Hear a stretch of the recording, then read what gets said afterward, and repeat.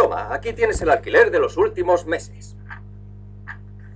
Y esto es el de los dos próximos meses. Debo mantenerte hasta que encuentres otro inquilino. Te aseguro que no vas a volver a verme el pelo en mucho tiempo. Al fin voy a poder perder de vista para siempre este montón de basura. Adiós, mamá. ¡Eh, Johnny! ¿Pero a dónde vas? ¡A Kirismi! ¿Cómo dices? Al fin mi suerte empieza a cambiar.